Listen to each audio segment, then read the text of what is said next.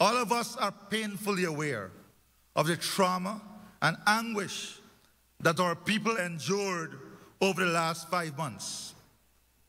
As vigorous attempts were made to destroy our democratic credentials and deny the will of the electorate, all of us have an obligation to the nation and to ourselves to ensure that never again should any generation of our people be subjected to such unlawful behavior.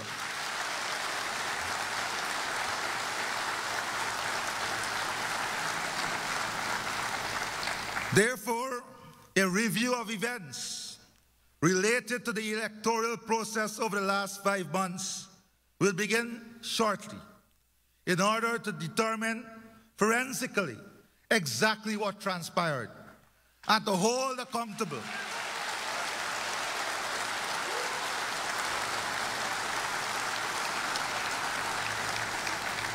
and to hold accountable any person who sought to pervert and corrupt the system.